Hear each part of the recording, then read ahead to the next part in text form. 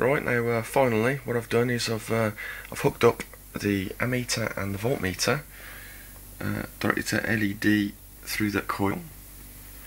Uh, I haven't moved any of the apparatus again, so I, th I think virtually the same things will stand, the uh, measurements.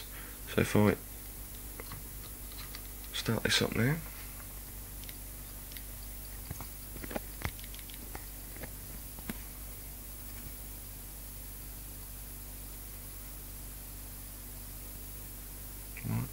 We're getting a nice glow back off that.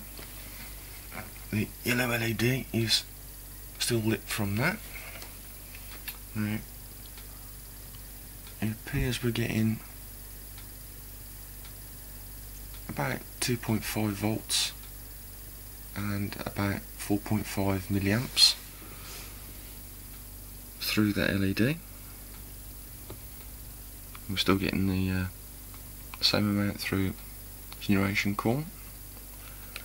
So I'm going to do maths on this one and then uh, post inside the information bit. So let's see uh, how it reacts when we take the power off. So I'm going to take the power off after I get a good view now. And it's still generating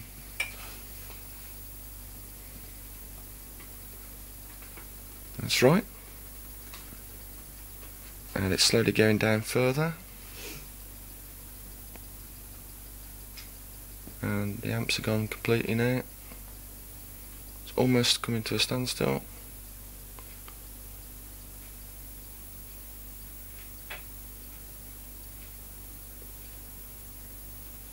And that's it.